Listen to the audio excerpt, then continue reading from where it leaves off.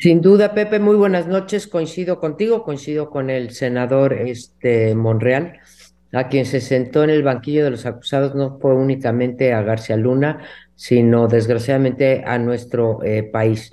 Creo que esto eh, tiene varias consecuencias, unas de política interna y otras de la relación bilateral.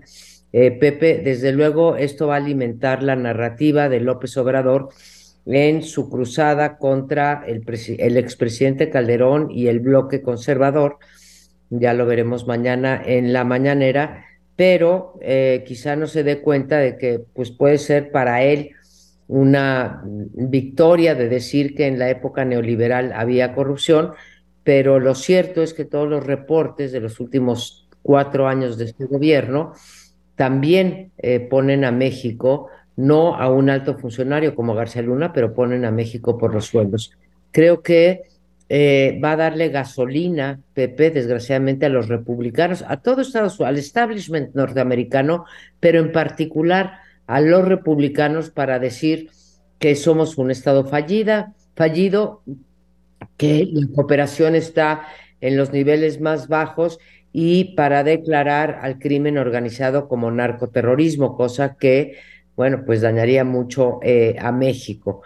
Pero eh, estas partes no se ven y quisiera concluir con eh, un comentario en el sentido, Pepe, de que esto no se ha acabado aquí, se buscará más a fondo incriminar desde al presidente López, al presidente Felipe Calderón hacia abajo, pero se siente un precedente, Pepe, en donde las pruebas no son importantes en un juicio. Yo no estoy aquí hablando de la inocencia, eh, ni mucho menos de García Luna, pero queda asentado que en un juicio de esta envergadura las pruebas no cuentan porque no hubo pruebas, hubo declaraciones de testigos protegidos. Claro, pero esas declaraciones para la justicia estadounidense son prueba plena. Esperábamos evidencia de alguna naturaleza y hubo de conformarse eh, la defensa con los testimonios, los testimonios de los eh, testigos colaboradores de la justicia estadounidense como, como hecho suficiente para juzgar, como ya ocurrió a Genaro García Luna. Esto, esto demuestra que, que, bueno, finalmente este juicio demuestra que el Estado mexicano eh, es, débil porque un alto funcionario del nivel de un secretario de Estado fue corrompido por el crimen organizado. Esto demuestra el poder que tiene el crimen organizado. Por eso le decíamos a Gerardo Rodríguez Lara, le decíamos hace un momento, eh, eh, es que el gobierno de México no debe festejar esta sentencia, sino debe el gobierno de México replantear toda la estrategia para evitar que la presencia de los cárteles de la droga siga imperando e imponiendo su ley de plata o plomo. Exactamente, eh, Pepe, no puedo estar más de acuerdo contigo. Esto va mucho más allá de García Luna.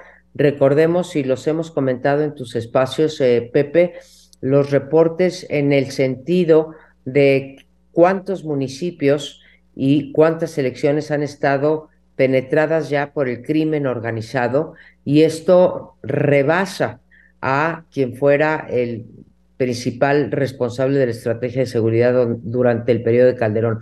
O sea, México está en el banquillo. Escuchamos la semana pasada a la directora de la CIA con unos pronunciamientos muy fuertes sobre la falta de cooperación de México y también estoy de acuerdo con que pues eh, Estados Unidos tiene también que empezar a actuar porque la estrategia de ellos tampoco, yo no veo que ellos hagan, cuando se reparte el fentanilo y que mata en efecto a 100 mil personas en Estados Unidos, que ellos hagan nada para evitar este narcomenudeo que llega a los Estados Unidos. Así que, pues se abre un nuevo capítulo, ¿sí? Estará en la cárcel, no sabemos cuánto eh, tiempo, apelará a la defensa eh, no, el, no la resolución, pero sí cuánto tiempo eh, estará, deberá purgar en la cárcel García Luna. Pero el que pierde es México y estoy de acuerdo contigo, Pepe, no hay mucho que celebrar. Muchas gracias, gracias María Amparo, muy buenas noches. Muy buenas noches, Pepe. Que te vaya muy bien. La doctora María Amparo Casar, como siempre, a todas horas en su...